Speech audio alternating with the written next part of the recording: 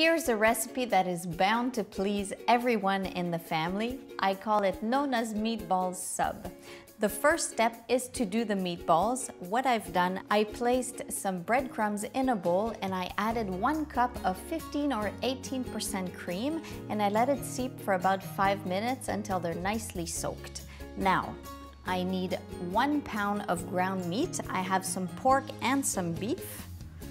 I'm going to add them to the breadcrumbs. And now for more flavor, some garlic that I've chopped, one small onion chopped as well, one egg. Now you can beat it ahead of time or you can just leave it like that and with the spatula I'll break it in the meat. And now for color and for flavor obviously, some parsley that I've chopped finely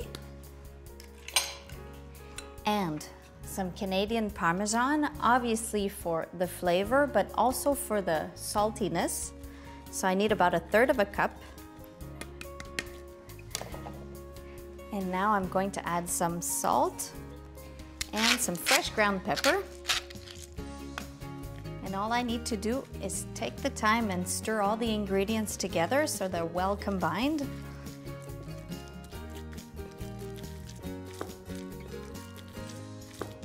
Now the best tool to make meatballs are your hands. So I need to make large meatballs, two generous tablespoons. Now with this recipe, you'll get 12 meatballs.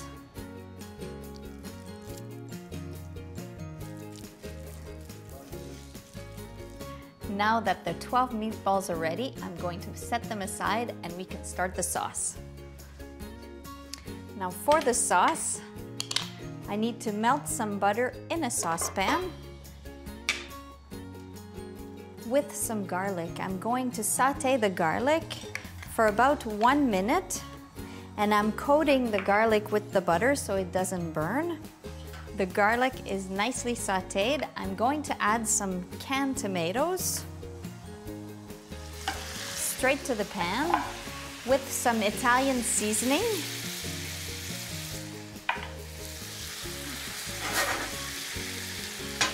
And with a potato masher, I'm simply going to crush the tomatoes.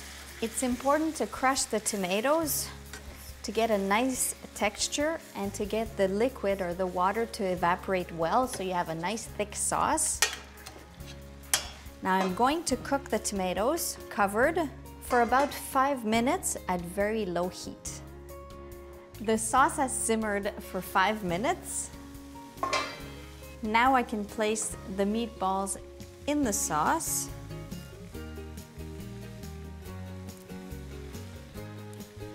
I'm going to cover and cook the meatballs for five minutes. After five minutes, I'll uncover and continue cooking for about six to eight minutes until they're fully cooked. I think the meatballs are ready. They smell delicious. I'm going to remove them from the sauce.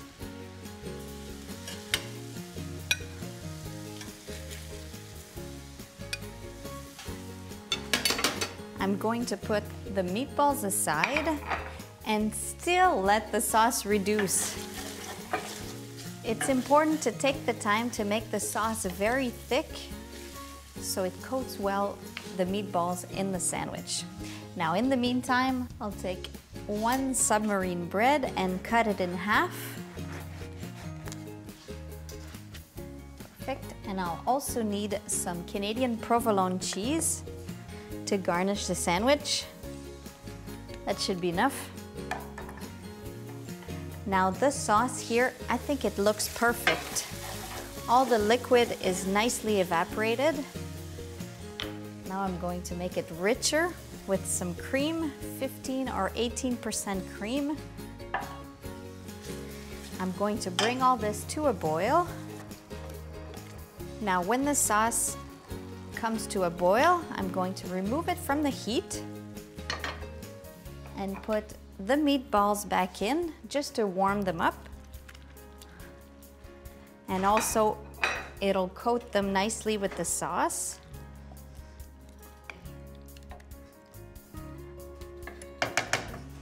Now I'm ready to assemble the sandwich. Now the meatballs go on the bottom piece of bread. Now three per portion is a good size. I'm going to add just a little bit of tomato sauce.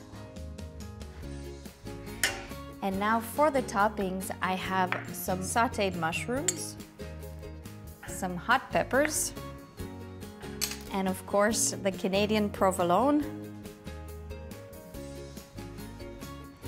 Now this is a serious sandwich that I'm sure will become one of your family's favorite.